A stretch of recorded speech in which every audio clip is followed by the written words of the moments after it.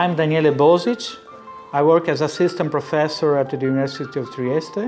I have received both bachelor and master in the University of Trieste, and then I PhD in the University of Padua, and then some postdocs in Trieste and also in uh, Netherlands.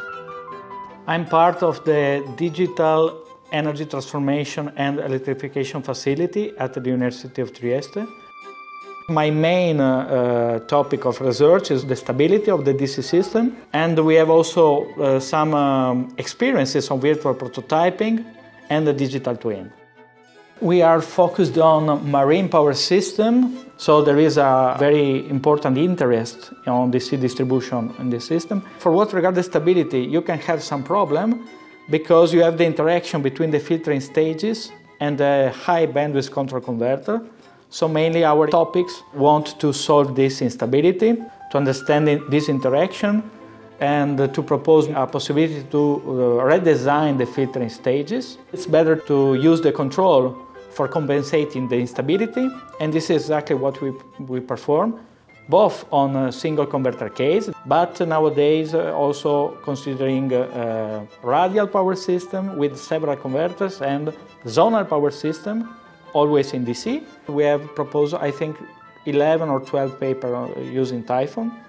I think that this is something quite important in the academia because you are showing that you are able to do something that is new and to confirm that torque control is okay and is not something that is working only on, on, a, on a book. The Digital Energy Transformation and Electrification Facility, that is our group, is working with several universities in the world uh, particularly in US and in Europe. We have several interconnection with the most important companies that we have in Italy for what regards the marine power system and for what regards also transmission.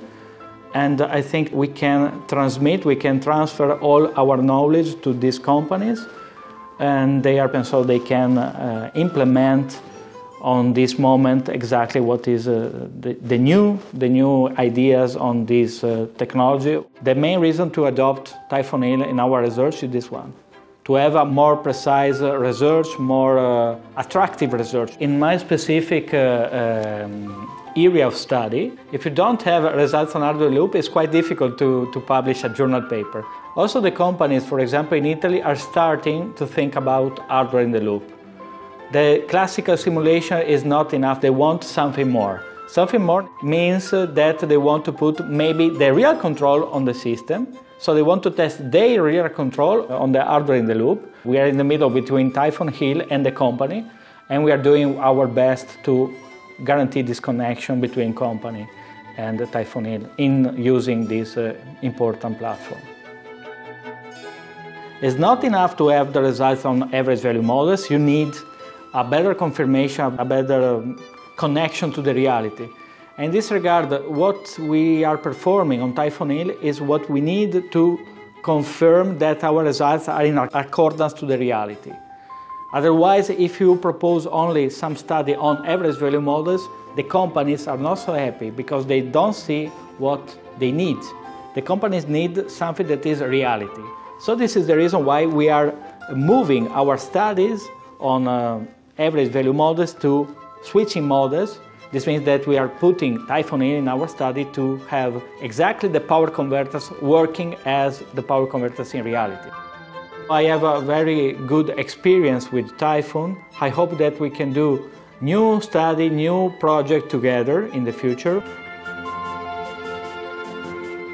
I think the, the HIL technology can be very important in teaching because uh, the students are able to see something new.